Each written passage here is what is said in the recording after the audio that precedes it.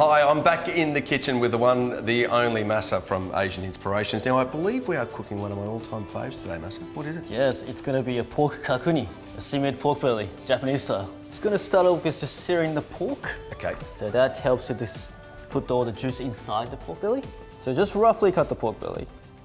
So little small pieces there of pork to begin with. Exactly. And what's the key ingredient of this one here, Masa? Today, the obento, sake, mirin, and the soy sauce. And pork only take a few minutes to cook, or is Yes. a little bit longer? So we're just gonna sear the outside. Okay. Most of the cooking will be done inside the pot. And what have we got here? That's gin ginger? That's ginger right Yep. there, yep. And then, That's the raw rice grains. So that's gonna help the pork make it a bit more milder. It's like a secret ingredient to help the pork. And that's the leek right there. so when do we add those in? So I've got a bit of water boiling up here Okay, right now. into the so we're gonna put it in here. Yep. Together with these ingredients. And we're gonna bring it to a boil.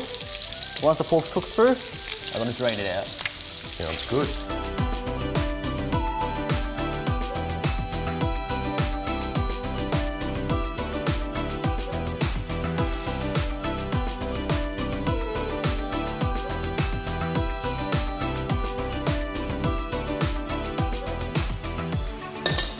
I'm gonna have a bit of paper towel here, Okay. Just to get the excess liquid off. Oh, smell that ginger. Beautiful. Well, it's a very well-known dish for winter. Yeah, right. This is a bit of dashi stock here. Yep. Bit of mirin. Bit of mirin. So mirin, would you combine that with sort of the sake typically as well and, and soy sauce? Yeah, so what's special about these three sauces are, in Japan, in most hot pots and most sauce ingredients, they will have these three ingredients inside. Hmm. And in Japan, we have a typical ratio for each kind of cuisine that you're making. Oh, there you go. So what I'm doing here is I'm just going to wipe off the excess liquid from the pork belly. Yep.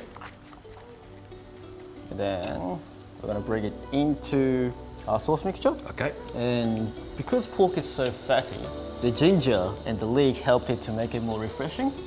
And the rice also helps it to cut a bit of the pork belly fat as well. Is that right? Like I said, it's a secret ingredient.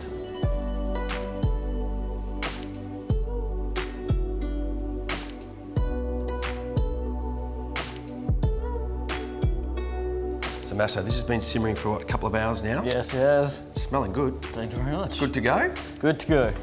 So now we're just gonna plate it. Get a bit of pork belly out. Get a nice bowl.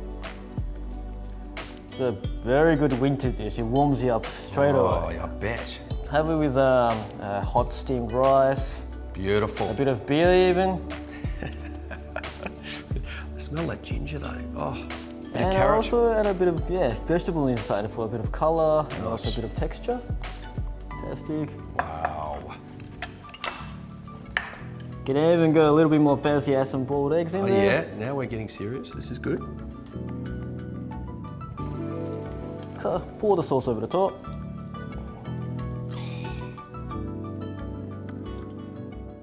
A bit of spring onion maybe. I think you've done this before, Masa.